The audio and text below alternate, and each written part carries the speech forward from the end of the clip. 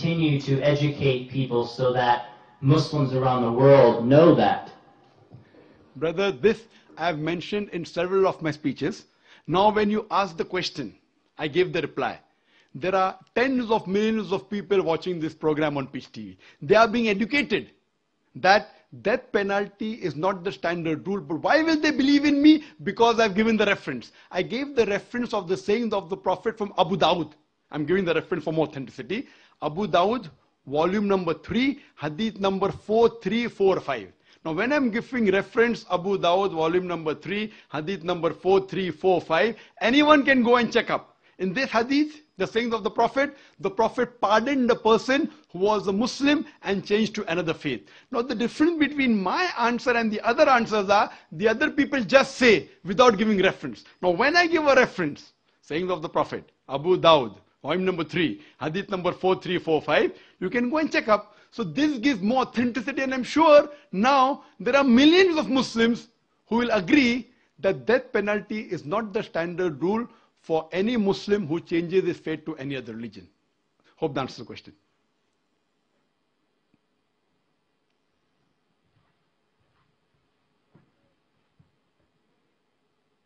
For this evening, due to the limitation of the satellite link.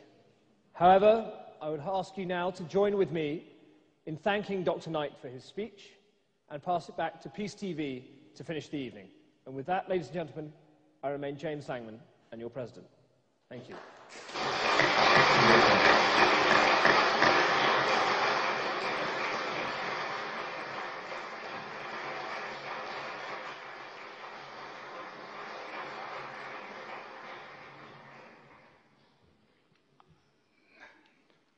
I would like to thank the Oxford Union, especially the president of the Oxford Union, Mr. James Langman, for making this event possible.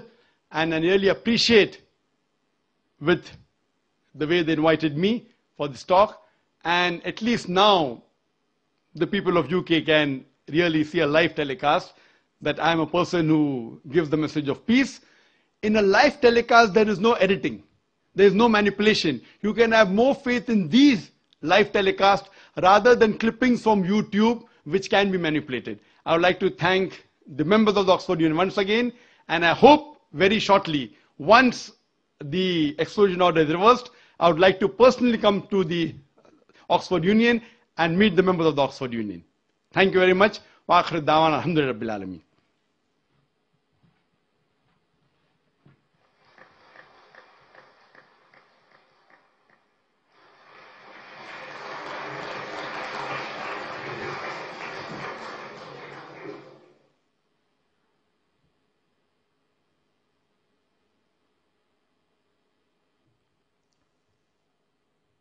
For the viewers of Peace TV, may I just give a background briefing for those who have joined in later on.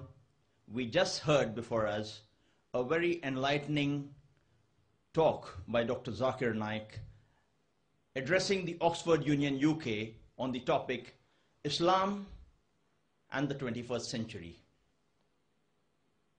This was an opportunity to present not only to UK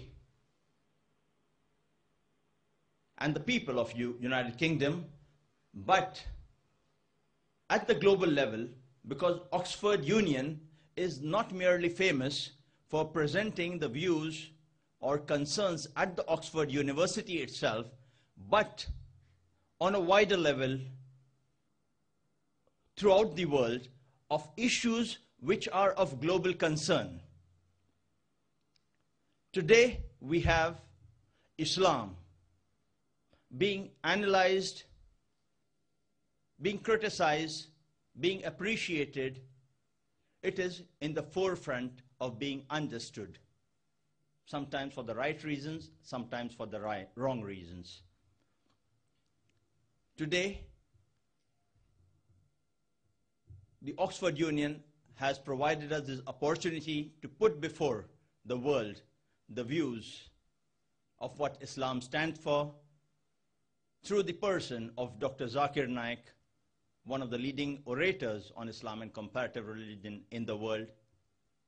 And It's a pleasure that we could hear the different questions and viewpoints. And inshallah, we hope to have such programs in other places on the world where opportunities could be availed of and spread the message of peace further and further to every corner of the world, inshallah. We thank all of you all for being with us and sharing these historic moments of this unique debate at the Oxford Union. Assalamu alaikum wa rahmatullahi wa barakatuh.